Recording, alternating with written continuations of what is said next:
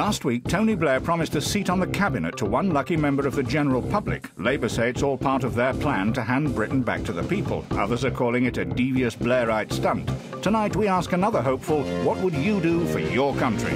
Britain's future lies with the children. This morning, I asked two youngsters on a dirty estate why they thought it was clever to smoke. They told me to fuck off and threw rocks at my car. Oh. Not now, dear.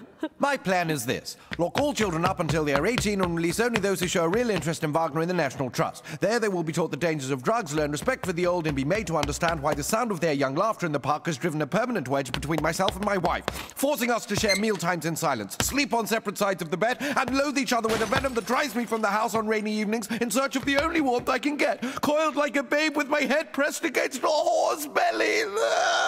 Do you have children of your own, Tom? His sperm doesn't work. Doesn't. Well, a vote for Tom Tanner is a vote to lock up children. This is People's Britain. You decide.